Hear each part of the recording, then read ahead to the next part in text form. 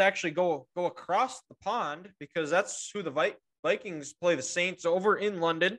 That's a 7:30 Mountain Time kickoff on NFL Network. Vikings two and a half point favorites, and they are Ethan. I, I'm guessing you're a little bit nervous because this is the first time the Vikings are playing in London without the without the Queen alive. So R.I.P. Queen Elizabeth. Are, are is that something you're nervous about? Is hold hold Uh, on. no, I that was that was hold, that was ridiculous because this is the first time any NFL game's going on without the Queen.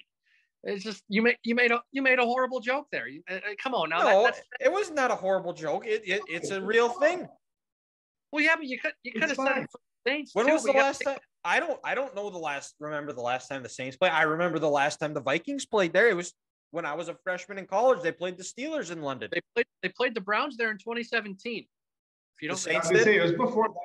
oh no, the Vikings did. The Vikings. Oh, played the Browns. Vikings. Yeah. So yeah, exactly. They're two and zero. The Vikings are undefeated while Queen Elizabeth was alive. This is the first time they're going over to London and she hasn't been alive. You can say that about any NFL team. Nuh-uh. There's team, been teams that have lost in London since since the uh when the Queen was alive. The Browns have, Yeah. the Steelers have, the Jaguars we all know have. Bears, I believe. This this, this is Man, ridiculous. just have some respect for the royal family. Jeez, unbelievable. I don't care about and this the- isn't your team. This isn't your team. Let's let. Ethan talk, okay? Ethan, Ethan, the floor is yours. I'm You know, sorry she was the only reason we didn't win by more in those games. She was the reason we were holding us back. So she was paying the officials. It's pretty obvious to keep the Steelers and Browns in the game. So we should win by 20 plus on Sunday. Okay, so you're saying without the Queen, the. Vikings- I- it gets fine. the Vikings are going to win by 20 on Sunday, I right? mean, I, Or- I think the defense good.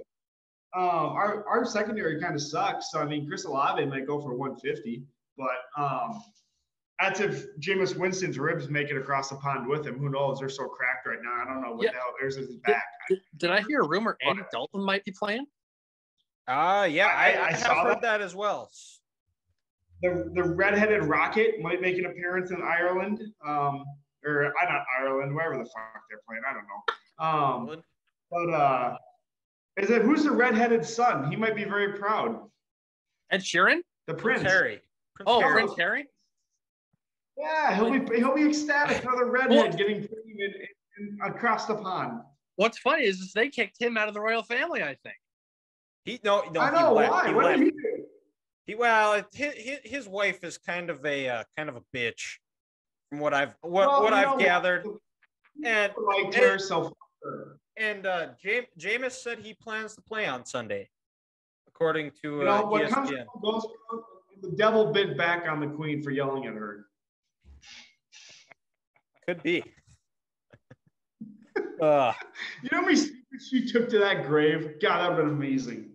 Too a many. lot of a lot of people with that level of power have taken a lot of secrets to the grave. but no, the Vikings win, probably not by 20, but I'll say by nine. Okay. Well, because I think you got to think this: the Saints' offense has not been good this year, and I mean, is Jameis going to turn it over three times this this week? I mean, If he plays. we just, I just, I don't know if I can trust him. Yeah. I just- well, Yeah, yes, he's it fine. sounds like he's gonna play, but I mean, I I, I would blitz blitz the hell out of him, get pressure on him, Get out of him, keep yeah. hitting Oh, him, yeah. make Yeah, him make- uncomfortable, make his make them- make his day just terrible. Make sure that ball comes out quick and make him uncomfortable. Because he's gonna if, if you keep getting pressure on him, you know he's gonna turn it over. He's gonna give you a free one. Oh, absolutely, absolutely. But- and you know the Saints, the Saints offense has not been good this year to start start off. And what makes what gives me any confidence that they're going to fix it on a week when they got to travel six different time zones and you know play in a different continent. So, like you said, just just blitz the hell out of them, make them feel uncomfortable, and he's going to give you he's going to give you one or two freebies.